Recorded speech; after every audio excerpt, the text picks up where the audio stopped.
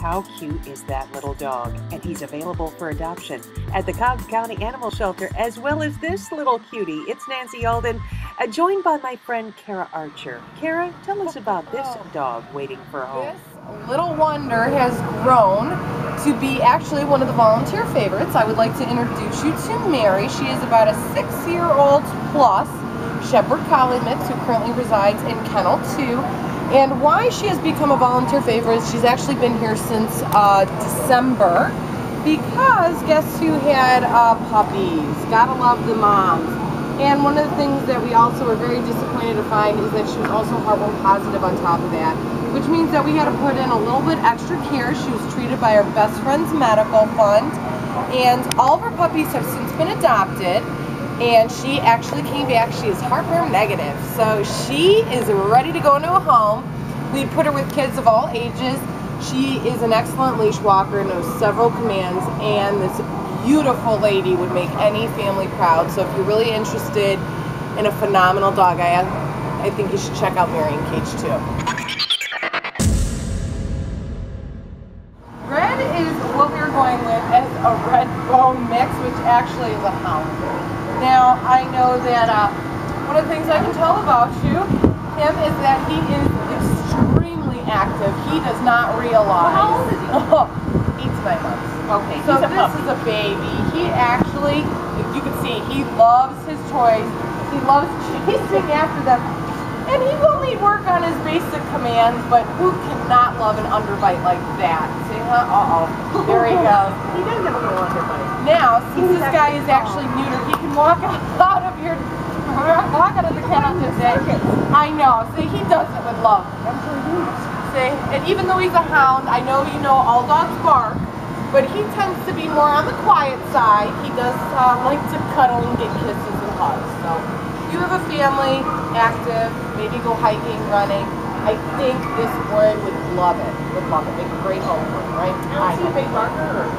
He, all dogs can bark, but no, actually Red is not that big of a barker from what we have oh. seen here. But mine is. That's number one complaint of all pet owners is that my dog barks. They're, not like when somebody comes to the door, obviously. Yes. Not at home constantly. He's not a yapper. But when I take him for a walk, he sees another dog. He hears a motorcycle. Yeah. He hears the postman, something like rattling. Yes. He goes crazy, and then people walk up to us and say, "Oh, what a cute dog that is," and then they Yes. What do I do? That Dog is one. Yeah, right. Yeah, right.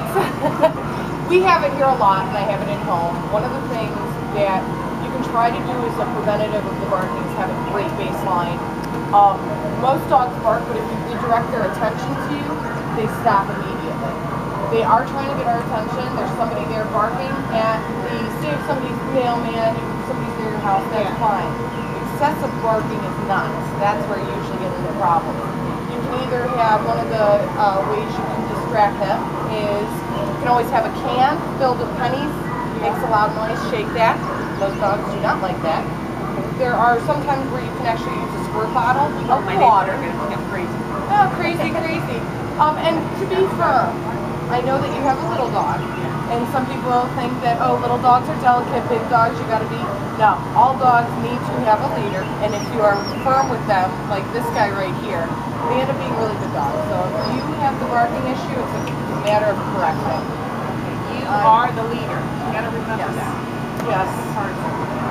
Yeah, you love them. With, with uh, some coins in it, or?